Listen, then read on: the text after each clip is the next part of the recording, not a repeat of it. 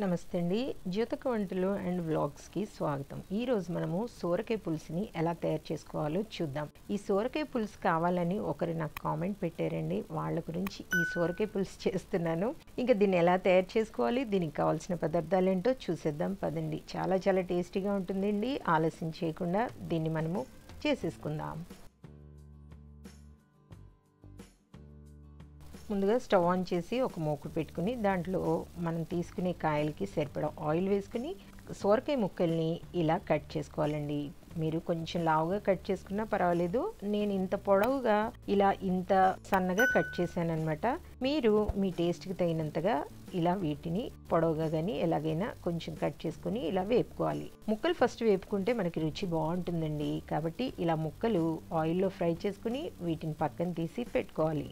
ఇదే ఆయిల్లో పోపుకి ఎండుమిర్చి ఆవాలు జీలకర్ర శనగపప్పు మినప్పప్పు ఉల్లిపాయలు పచ్చిమిర్చి కరివేపాకు కూడా వేసుకుని ఈ పోపుని చక్కగా ఫ్రై చేసుకోవాలి. దీంట్లోనే ఒక టొమాటో కూడా కట్ చేసుకుని వేసుకుని టొమాటో కూడా మగ్గేంత వరకు వీటిని వేపుకోవాలి.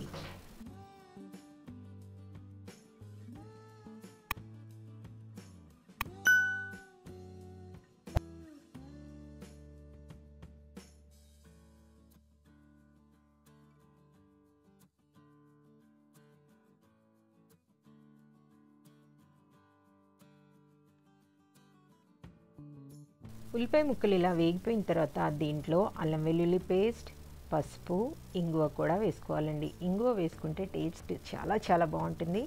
కాబట్టి నేను ఇంగువ వేస్తానమాట మీరు కావాలనుకుంటే ఇంగువ వేసుకోండి ఇంగువ ఇష్టం లేకపోతే వదిలేయండి.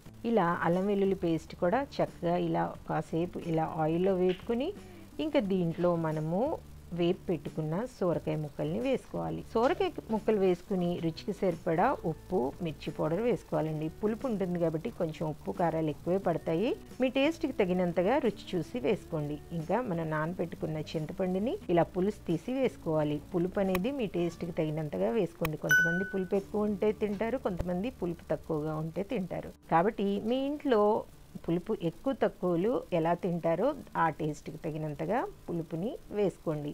వేసుకుని ఇంకా అంతే అండి. దీన్ని ఒక్కసారి కలిపి దీంట్లో కొంచెం మెంతి పొడి కొంచెం వచ్చేసి బెల్లం. పులుపు అన్నాక మెంతి పొడి బెల్లం ఉంటేనే బాగుంటుంది. కాబట్టి ఇలా కొంచెం మెంతి పొడి తర్వాత ఒక చిన్న బెల్లం ముక్క వేసేసుకుని ఒక్కసారి మరగనిచ్చామంటే ఇంకా మనకి సోరకాయ పులుసు రెడీ అయిపోతుంది. చాలా చాలా ఈజీ అండి. టేస్ట్ కూడా చాలా బాగుంటుంది. ఫ్రైలోకి కానీ మామూలుగా తిన్నా కూడా చాలా బాగుంటుంది. మీరు కూడా తప్పకుండా ట్రై చేసి మీకు ఎలా కుదిరిందో నాకు కామెంట్స్ ద్వారా తెలియచేయండి. చూడండి ఇలా మరిగిన తర్వాత ఇంకా స్టవ్ ఆఫ్ చేసుకుని చక్కగా వేడి వేడిగా కానీ చల్లగా కానీ సర్వ్ చేసుకుంటే టేస్టీ అయిన సోరకాయ పులుసును తింటూ ఎంజాయ్ చేయొచ్చు. వండుకోండి తినండి ఎంజాయ్ చేయండి. నా వీడియో కనుక మీకు నచ్చితే లైక్ చేయండి షేర్ చేయండి కామెంట్ చేయండి. నా ఛానల్ని మీరు సబ్స్క్రైబ్ చేసుకోండి. మరో వీడియోలో మళ్ళీ కలుసుకుందాము. అంతవరకు సెలవు. Thank you.